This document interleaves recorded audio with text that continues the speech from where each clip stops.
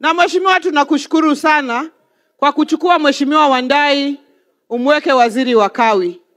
Mheshimiwa Wandai tumefanya naye kazi bunge tangu 2013.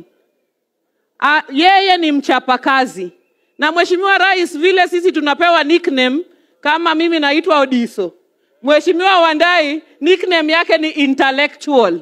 Hapa Ugunja akitembea anaitwa intellectual kwa sababu wako na akili ya juu sana, na mimi najua atafanya kazi kwa bidii katika hii wizara ya kawi. Mheshimiwa Wandai, tumekupeana kama chama cha ODM na tumekupeana sasa uwe kiongozi wa kitaifa, usituaibishe hata kidogo. Na wewe ukitembea na rais uende mpaka Todonyang huko Turukana, tafadhali usiseme sasa nimewaletea salabu kutoka Ugunja hapo Siaya.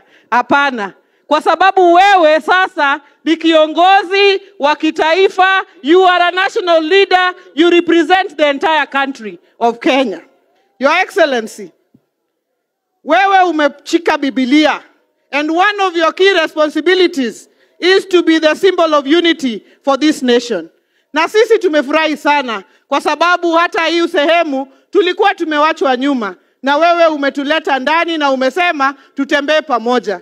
Mheshimiwa Rais, usiogope, unganisha Kenya kutoka Vanga mpaka Nyatike Wuotho Rumo, kutoka Mageta mahali tulikuwa asubuhi mpaka Todonyang huko Turukana, kutoka Mount Kenya mpaka Gwasi Hills. Unganisha Wakenya wote wawe ndani ya serikali. Na mwisho, Your Excellency, kwa sababu sisi ni multi-party uh, democracy, sisi kama wana ODM tutazidi kujenga chama cha ODM, tutaiunda, tutaiweka iwe na nguvu, alafu tuongee tukiendelea mbele, sisi tukiwa nyuma ya Raila Amolo Odinga, na tukienda huko mbele tuendelee kuongea na tutaona vile tunaenda, na mambo si mbaya.